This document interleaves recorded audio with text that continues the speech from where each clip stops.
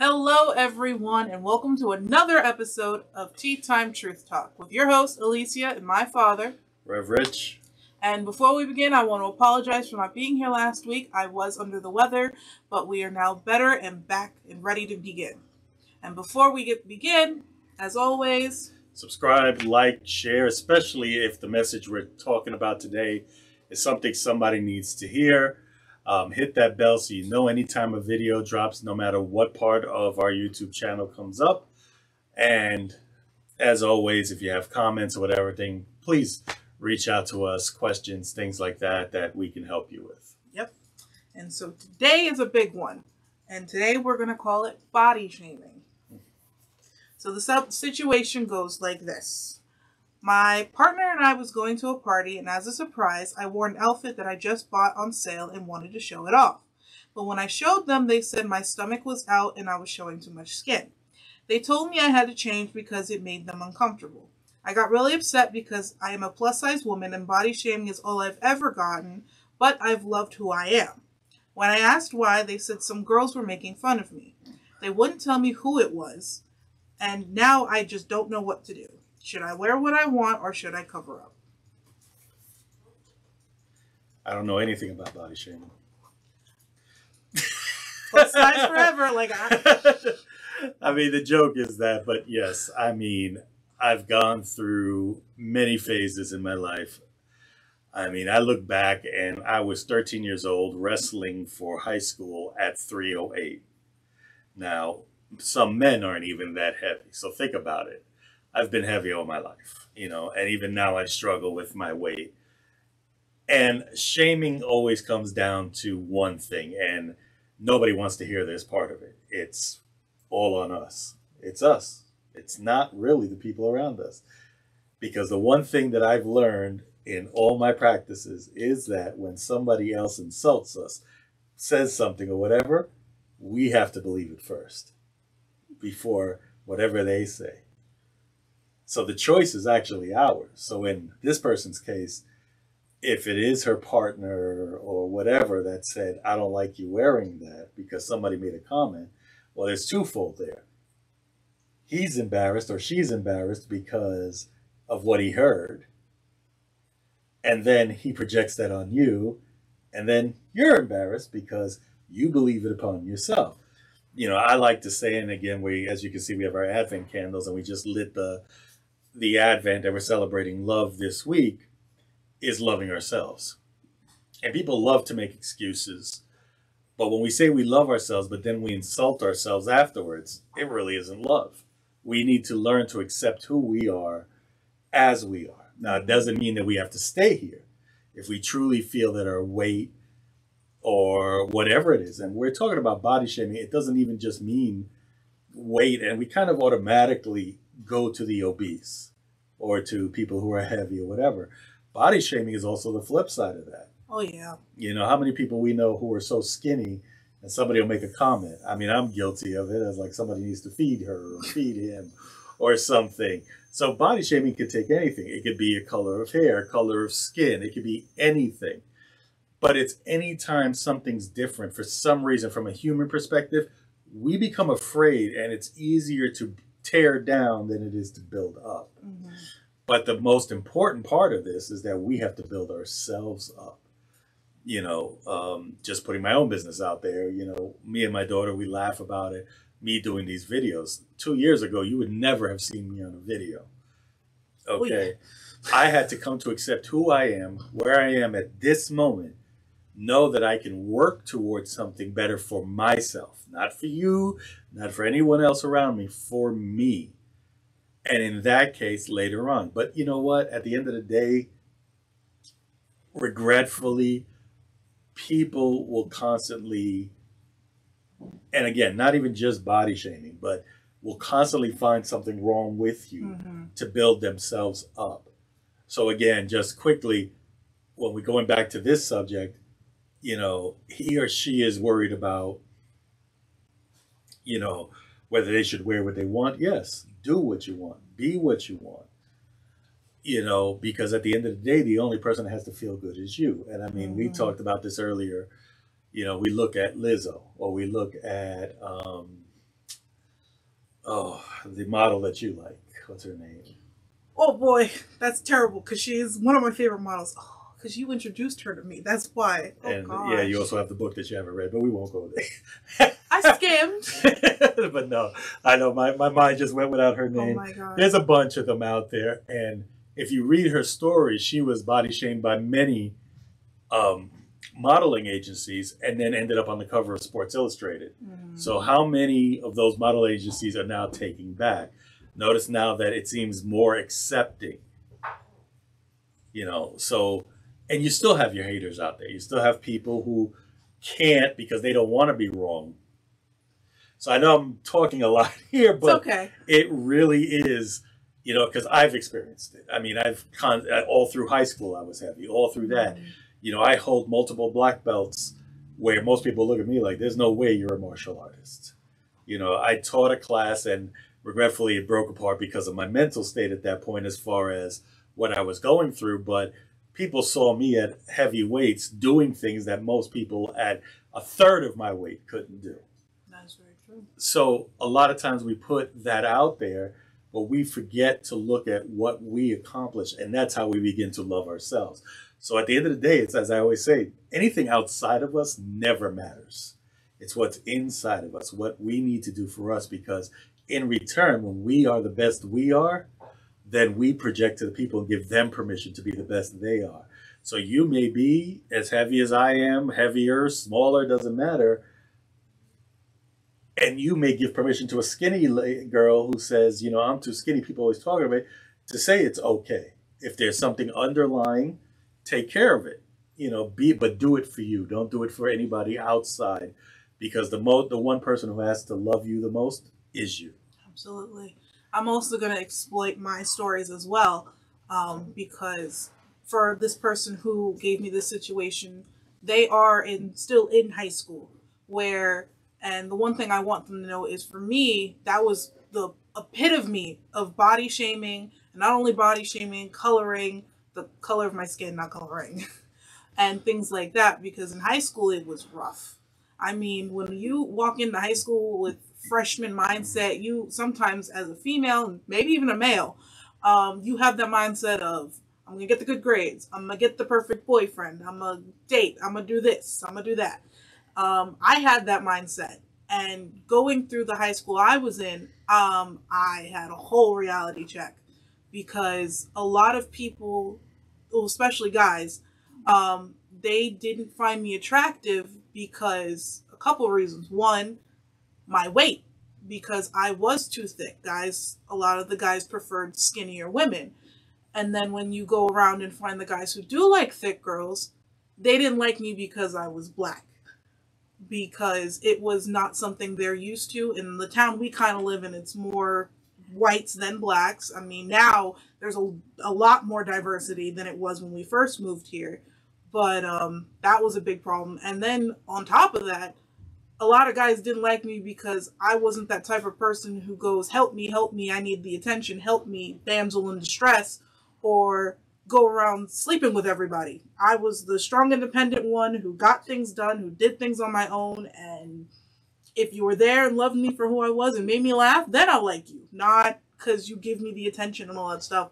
So it really is other people's opinions, but it took me a while to realize none of that matters, especially once you graduate high school. Because let me tell you, when you get that diploma in your hand, that's it. That's a wrap. Everything that happened in high school is in high school.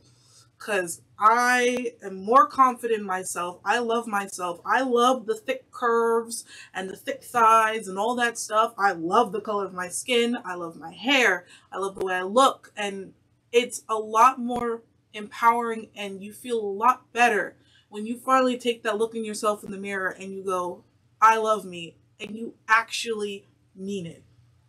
Like I said, high school is rough because sometimes you get all those outsiders and the naysayers, and you want to fit in, but you want to stand out, and you're still trying to find yourself in high school. But let me tell you, once high school's out and you become that adult and you step into adulthood, I'm still trying to be a child because I do not want to deal with bills and paperwork and jobs, and because that's what's going to matter. But taking care of yourself is also a big thing. And once you realize and you feel that love for yourself, it's an amazing experience. And then you just keep doing it over and over and over again. And I also learned with the love that I felt for myself, I felt more confident.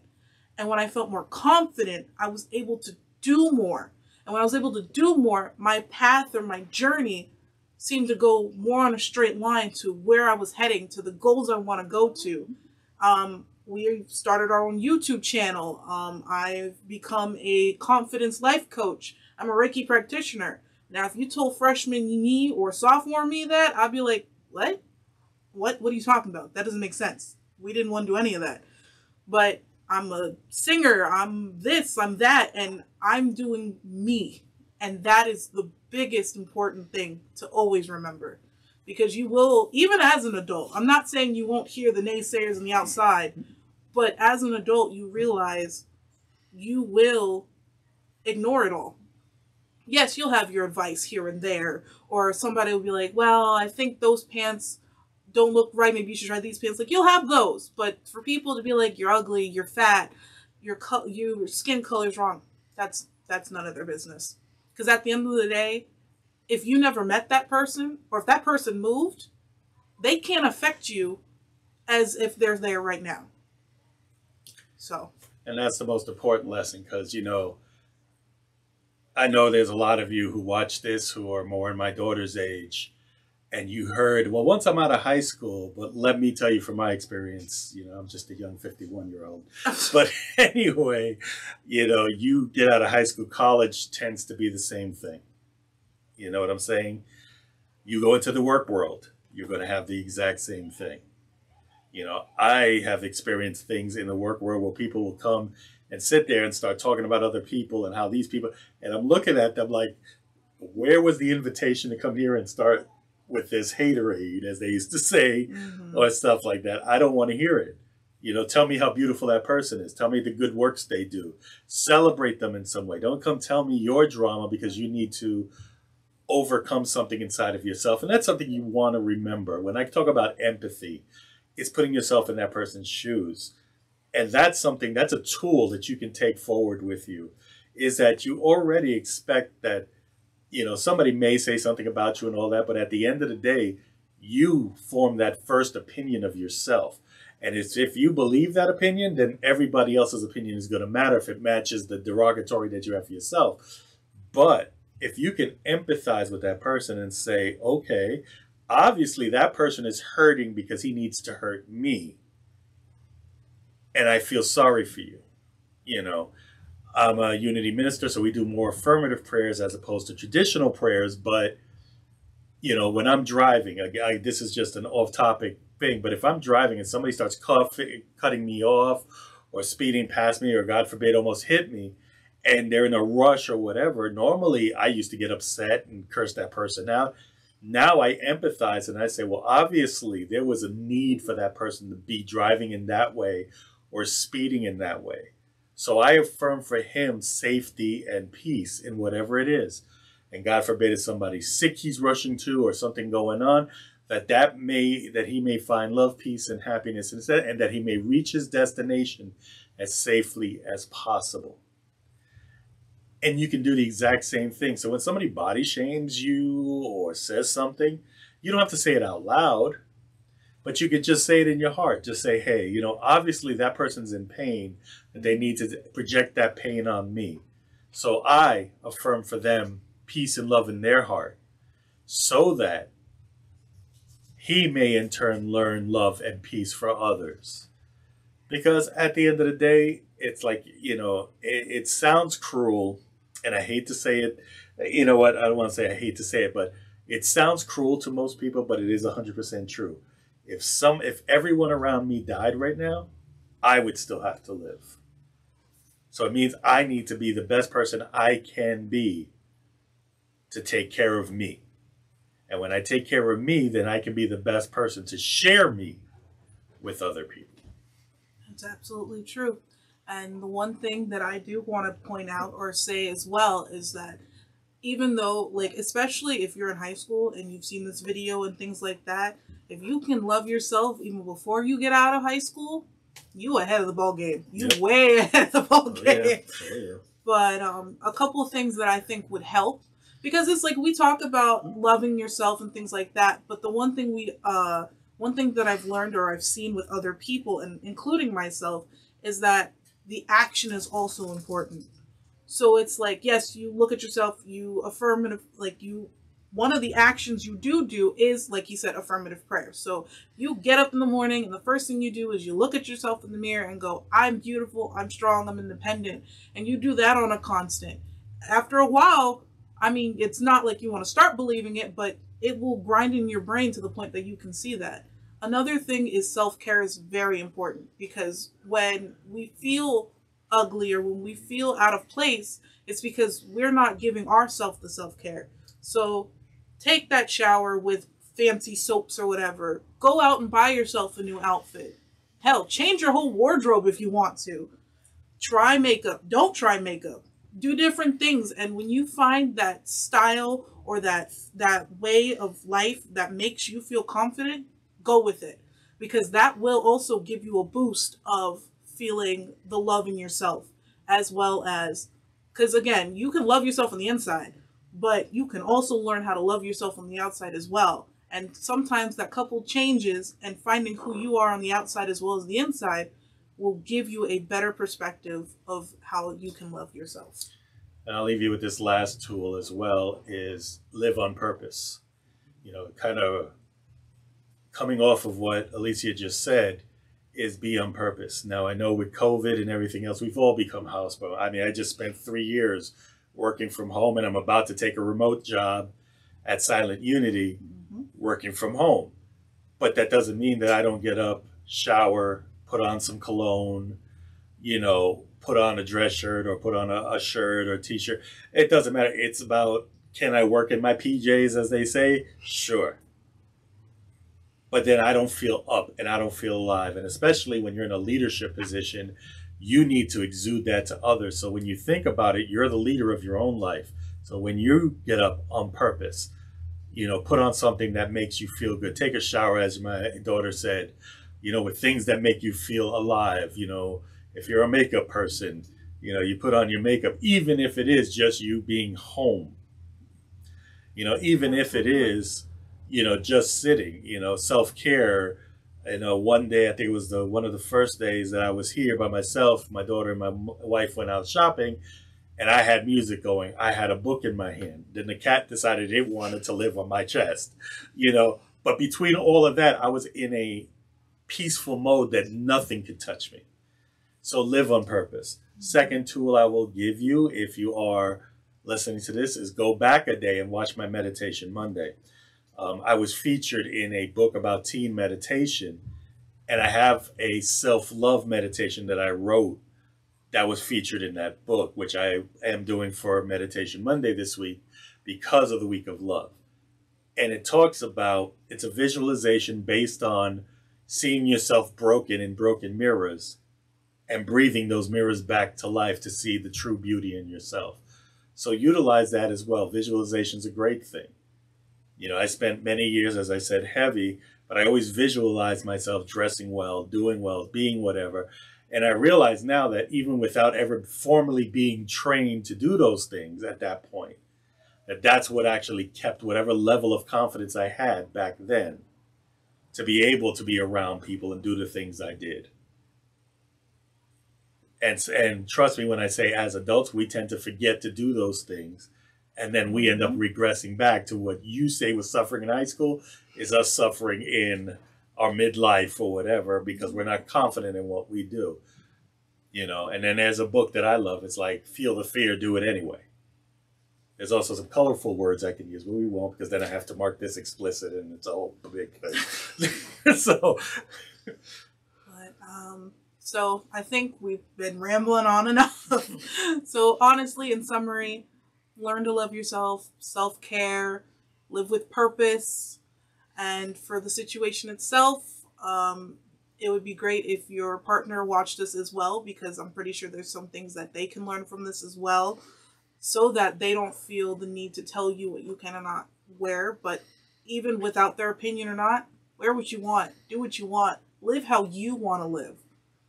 And with that, as always, we love, you, and there's nothing, you can do about it. And we'll see you next week.